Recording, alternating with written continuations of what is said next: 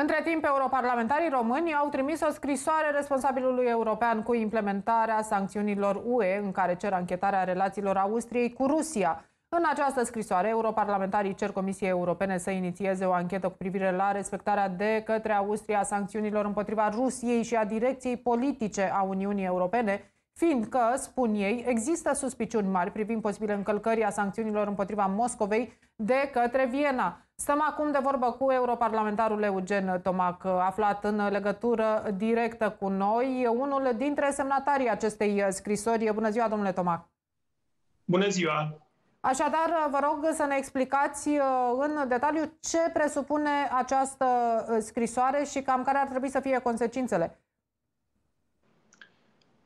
Considerăm că Uniunea Europeană nu poate fi credibilă și nu le poate cere partenerilor săi să implementeze măsurile de sancțiuni în cele 11, uh, ce se regăsesc în cele 11 pachete de sancțiuni pe care le-a uh, stabilit Comisia Europeană.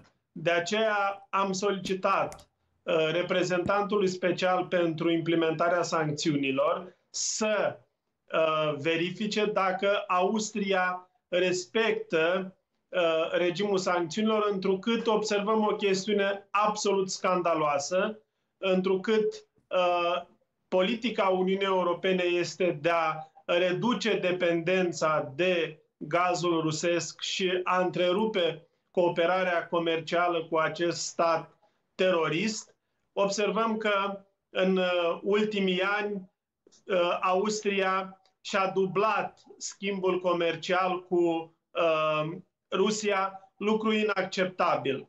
În comparație cu anul 2019 este cu o creștere de 252%, în comparație cu 2000 2021, în anul 2022, Austria și-a dublat cifra de afaceri uh, pe import din Federația Rusă. Practic, uh, Viena în continuare alimentează regimul uh, Putin cu bani și din acest punct de vedere există suspiciuni destul de puternice că Austria de fapt nu respectă sancțiunile în condițiile în care Uniunea Europeană a stabilit că nerespectarea sancțiunilor impuse Rusiei constituie infracțiune. La cel de-al 11-lea pachet s-a stabilit acest aspect destul de clar și pentru că Domnule există... Tomac, în contextul în care uh, se va dovedi uh, că aceste acuzații sunt uh, unele pertinente, ce riscă Austria?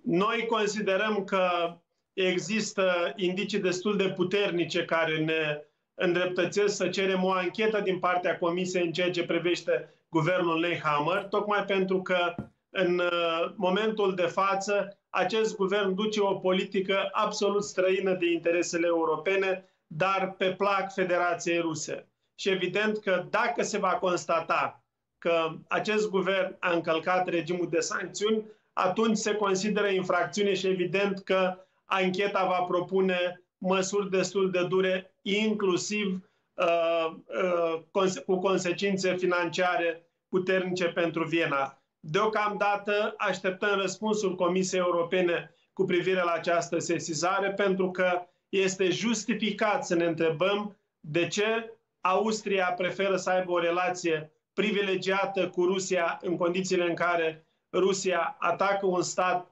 vecinul Uniunii Europene doar pentru că vrea să se integreze în Uniunea Europeană, pe de o parte, pe de altă parte, blochează evoluția Uniunii Europene prin uh, interzicerea României de a intra în spațiul Schengen și al Bulgariei. Deci există foarte multe elemente care ridică îngrijorări puternice, de aceea noi am formulat, eu împreună cu colegul meu, uh, deputatul Vlad Botoș, această interpelare.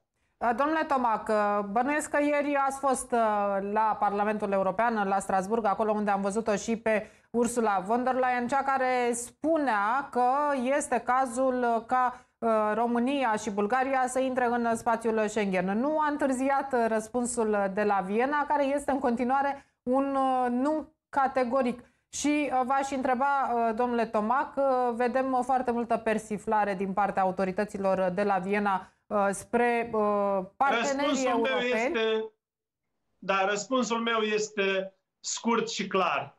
Austria duce un joc agresiv împotriva României și implicit împotriva Uniunii Europene. Și, și pentru singura că dumneavoastră ați făcut această România... legătură cu scrisoarea, credeți că Austria într-o oarecare măsură ar avea, um, ar urmări sau ar duce mai departe niște interese ale Rusiei în această privință?